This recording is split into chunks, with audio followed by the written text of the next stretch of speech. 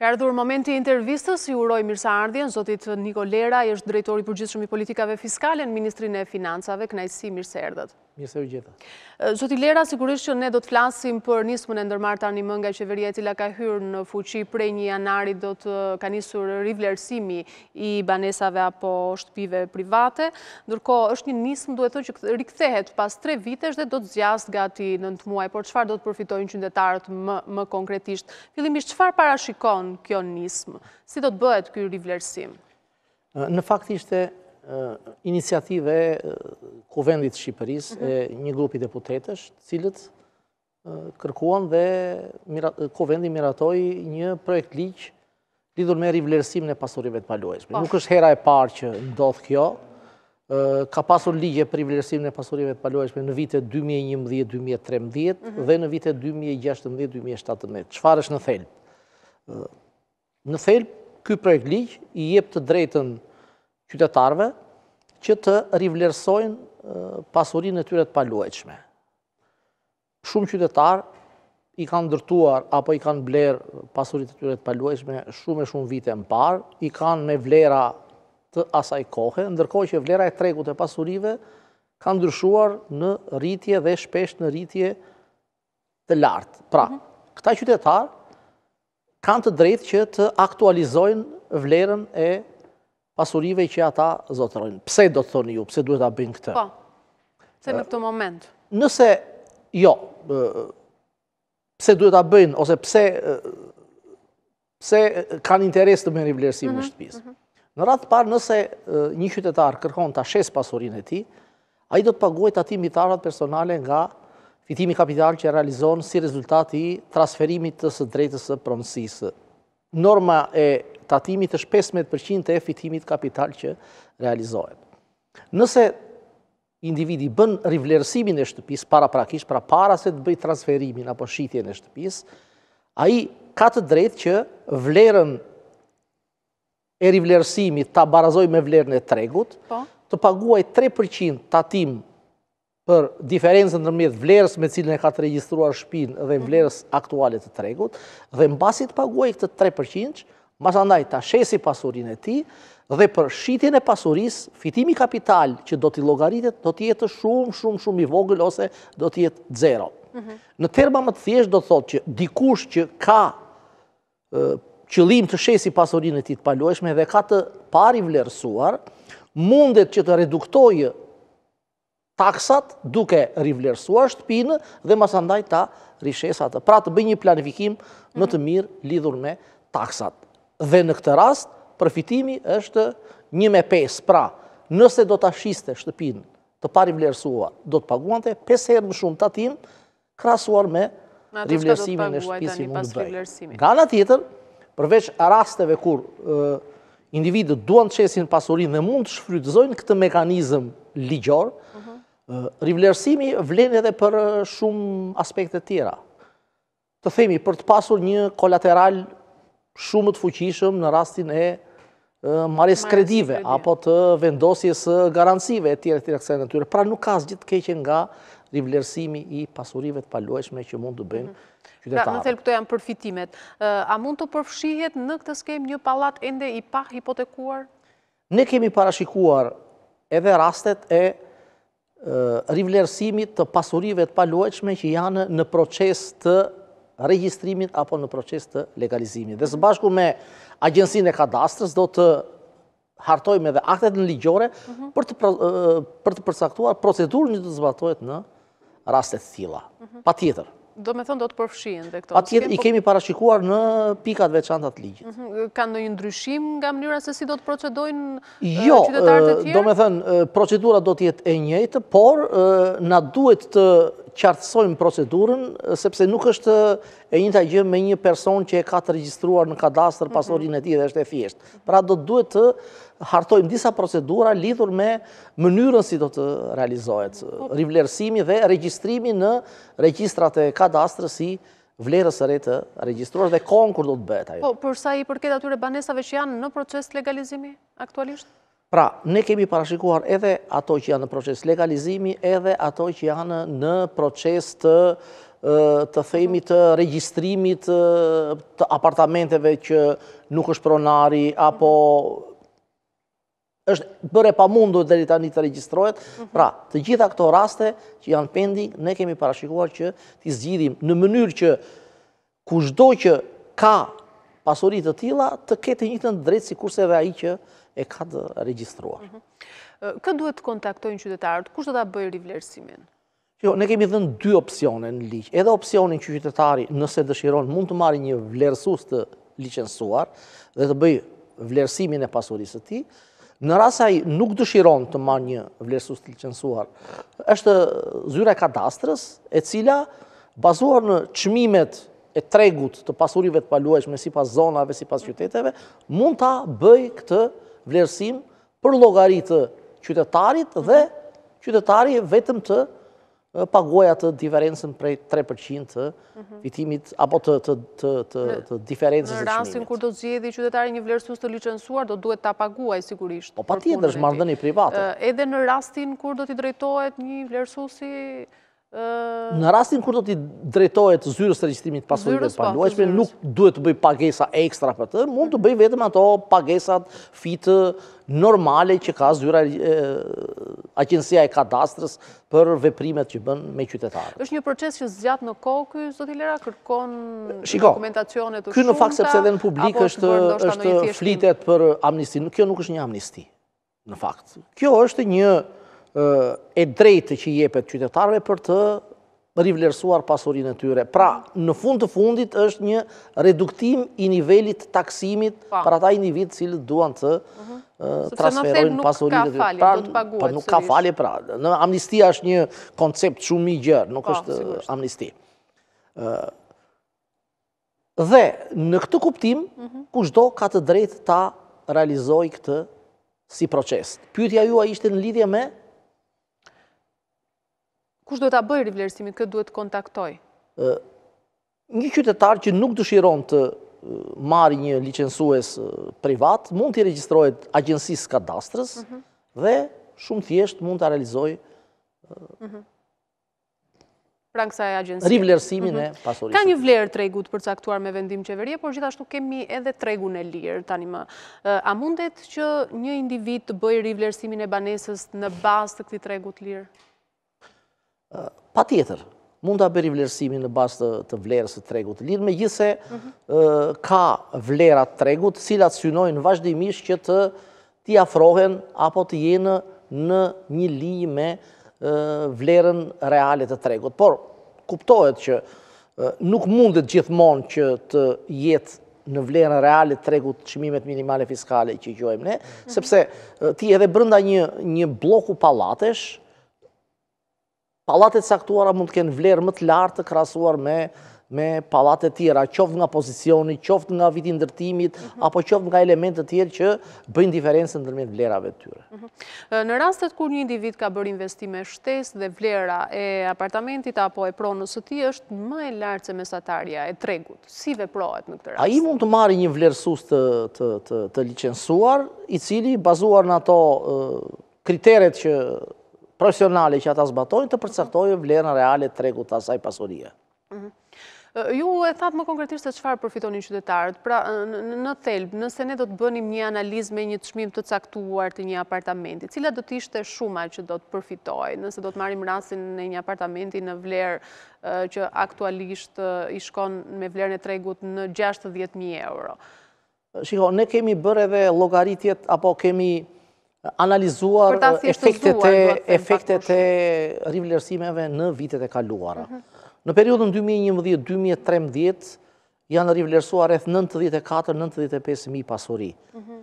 Në periudhën 2016-2017, janë rivlerësuar rreth 64 mijë pasuri. Po. Ne në një variant pesimist kemi gjykuar që për këtë periudhë nëntëmujore do të rivlerësohen pesëdhjetë mijë, por shifra mund të shkojë edhe gjashtëdhjetë dhe shtatëdhjetë mijë sepse mund të ketë interes nga publiku. Gjithçka mhm. varet nga publiku.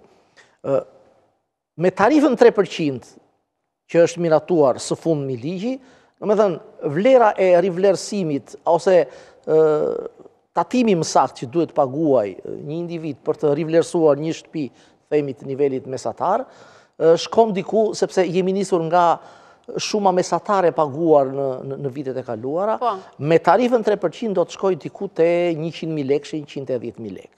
Por, gjithmonë, theksoj që paguan 110.000 lekë në formën e tatimit për rivlerësimin mhm. dhe në qoftë se e shet nuk do të paguash 5-fishin e saj, pra 500.000 lekë. 10.000 lekë të reja apo të vjetra? Flas 100 mijë lekë të reja. 100 mijë lekë të reja. Sepse po marr një mhm. një diferencë të madhe ndërmjet regjistrimit, vlerës së regjistruar, që mund të jetë shumë e ulët dhe vlerës reale të tregut. Dhe në momentin që bëhet rivlerësimi dhe gjithë procesi shkon ashtu sipas siç është përcaktuar, kjo shumë paguhet menjëherë nga qytetarët, mund të paguhet me këste si është zgjidhur, apo është... Ne nuk kemi parashikuar pagesë me këste, sepse vetë vlerat që do të paguhen nuk janë të tilla që bëjnë të domosdoshme një pagesë me këste. Pra për vlera tilla, 80.000 lek, 100.000 lek, 110.000 lek, pra nuk besoj se mund të ketë vend për pagesa me këste. Aq më tepër që Të tilla rivlerësime apo të tilla incentiva fiskale mhm. jepen për periudat të saktuara kohë. Po. Me këtë ligj është përcaktuar 9 muaj kjo periudhë, sepse nuk mund të jetë e përjetshme një masë e tillë. 9 mhm. muaj në mënyrë që të marrë në konsideratë edhe flukset e shqiptarëve që jetojnë jashtë atdheut, të cilët zakonisht vijnë në periudhën e verës dhe të kenë edhe ata mundësi për të rivlerësuar pasuritë e tyre, që mund të mos i kenë rivlerësuar. Kjo lloj nisme që është ndërmarrë, është ndikuar ndoshta edhe nga situata e tërmetit më pas tanimë që tregu i shitblerjeve të apartamenteve, ndoshta kishte nevojë për një nxitje të tillë jo, në këtë moment, apo jo? Nuk besoj që është ndikuar nga pasojat e tërmetit 26 nëntorit, mhm. bile dikush mund të argumentonte të kundërtën, pra që tërmeti i cili në një logjikë ul vlerat e pasurive të paluajtshme, shkon në të kundërtën e mhm. logjikës së ligjit. Por, gjithmonë, mhm. qytetarët apo një pjesë e tyre do të kenë interes për të bërë rivlerësimin e pasurive të tyre. Janë rreth 900 mijë, 1 milion pasuri në Shqipëri, janë rivlerësuar, sikurse thashë, 150 mijë pasuri, kështu që ka vend për mhm. të rivlerësuar një pjesë të madhe tjetër. Jo vetëm qytetarët mund të përfitojnë, por edhe bizneset, më konkretisht, përfitimi është më i madh te bizneset? Ne kemi parashikuar në ligj që edhe personat juridikë të kenë të drejtën e po. rivlerësimit, për ta mhm. kemi parashikuar një tarifë më të lartë, pra jo 3 për qind, por 5 për qind, sepse edhe një person juridik mund të ketë një pasuri që dëshiron ta shesë nesër mhm. dhe në vend që të paguajë 15 për qind tatim mbi fitimin nga shitja e pasurisë së paluajtshme, sepse ata paguajnë tatim mbi fitimin korporativ, do të paguajë pikërisht këtë taksë dhe kur ta shesë do ta ketë fitimin të papërfillshëm, mhm. i cili do të shumëzohet më pas me 15 mhm. për. Pra ia u kemi dhënë të drejtën e rivlerësimit dhe të përfitimit nga kjo lloj incentive edhe personave juridikë. Mhm. Por jo që vlera e re masandaj të jetë objekt i amortizimit, sepse kjo nuk lejohet nga ligji. Në çfarë kuptimi?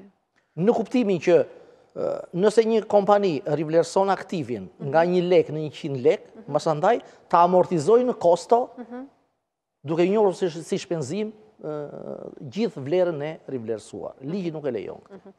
Ë sa është shuma e pritshme që do të shkojë në buxhet nga kjo nismë?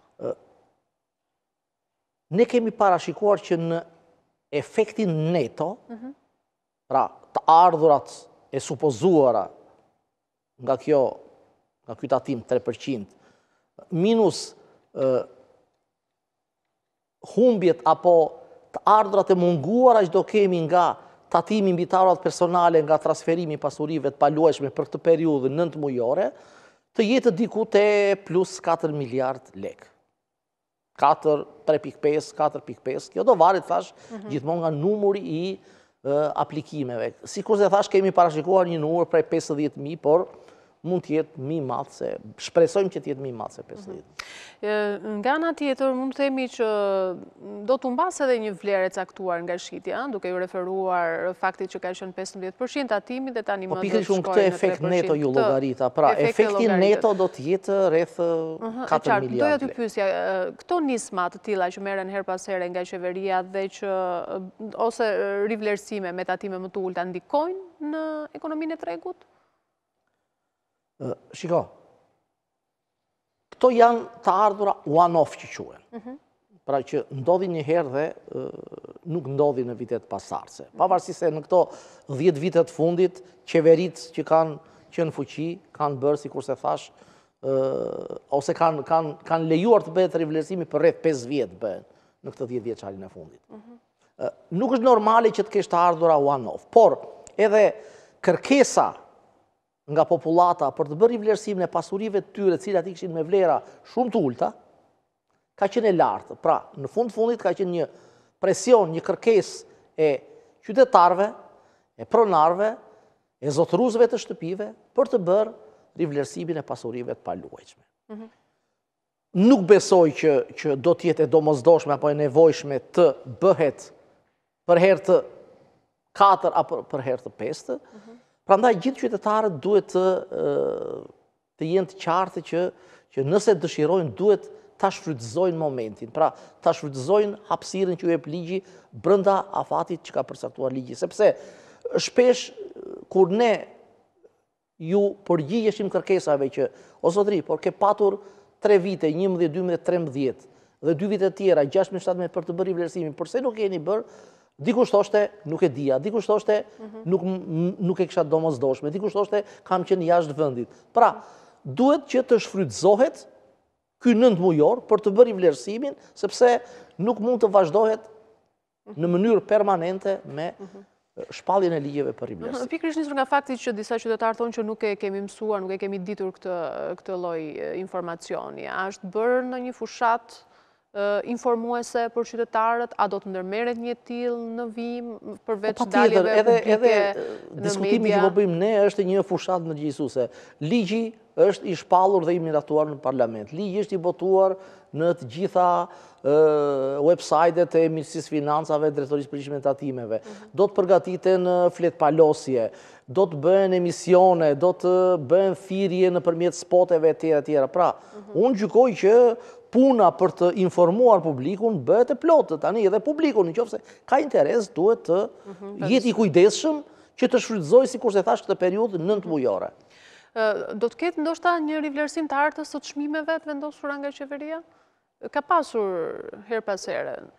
Shiko, ky ligj nuk ka të bëjë me me rivlerësimin e hartës së çmimeve. Mm -hmm.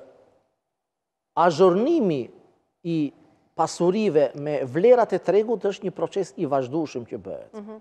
Kjo bëhet për pasuritë e paluajtshme, ndërtesa, po kështu edhe për për tokën, qoftë truallin, qoftë tokën bujqësore. Por nuk është një proces i lidhur domosdoshmërisht me me këtë ligj. Mhm, ju e shikni të arsyshme që duhet të ndodhë ndoshta një ndryshim? Shiko, që të azhurnosh Kur është bërë azhurnimi për herë të fundit? Besoj është bërë para një viti e gjysëm, në qoftë se Mhm. më kujtohet saktë. Por, që të azhurnosh me vlerat e tregut në mënyrë permanente, çdo vit është një domosdoshmëri. Nuk është shumë e thjeshtë, është e vështirë, nuk mhm. diskutohet, por është e domosdoshme që çmimet, çmimet që aplikon qoftë shteti, qoftë organizma të tjera, të jenë sa më mirë të përputhura me vlerat reale të tregut. Mhm. Përcaktimi i çmimit në çfarë kritere mbështetet zakonisht? Zakonisht mbështetet në vrojtimet, pra në mesataren e çmimeve të një zone të caktuar, mhm. në kontratat që kanë bërë qoftë qytetarë, qoftë agjensi të ndryshme të asaj zone, çmimet mhm. përkatëse, apo në investigimet në të dhënat e agjensive imobiliare, mbi bazën e këtyre të dhënave, pra është një grup të dhënash, mbi të cilën përcaktohet dhe sa është çmimi i pasurive në zona të caktuara apo në territore të caktuara. Ekspertët edhe më herët e kanë vërejtur si problematikë faktin që në kadastër banesat figurojnë me çmime të ulta në shtëpitë. Përse ka ndodhur kjo, mendoni, për këtë periudhë? Po, ka pasur shumë arsye. Një pjesë e madhe e ndërtesave të vjetra janë të ndërtuara para viteve 90. Mhm. Kuptohet që vlera e tyre është e papërfillshme. Por edhe ndërtesat që janë ndërtuar mbas viteve 90, qoftë në formën e godinave, mhm. pallateve, qoftë në formën e shtëpiave private, shpesh për arsye nga më të ndryshmet, për të mos paguar më shumë taksa, apo për të mos treguar vlerën reale të investimit, mhm. e një mijë arsye të tjera, mhm. janë regjistruar me vlera më të ulëta. Tani, ajo që ka ndodhur, ka ndodhur, ne nuk mund ta zhbëjmë dot atë. Mhm. Hajt t'i çojmë këto pasuri në vlerën reale që duhet të kenë ato sot. Pra, qytetarët duhet të përfitojnë nga kjo mundësi, nga kjo nismë për të bërë rivlerësimin. Në qoftë se dëshirojnë, mund të përfitojnë nga nga ky rast për të bërë rivlerësimin. Mhm, dhe përfitimi duhet thënë është goxha i lartë, sidomos... Në rast kur ti dëshiron ta shesësh pasurinë... Në rastin që dëshiron ta shesësh. Po. Redukton taksën tënde me 4 të pestat, në mhm. Dhe është shifër goxha e konsiderueshme. Ju falenderoj për intervistën, për bisedën, për sqarime gjithashtu dhe për analizën. Faleminderit, zoti Lera.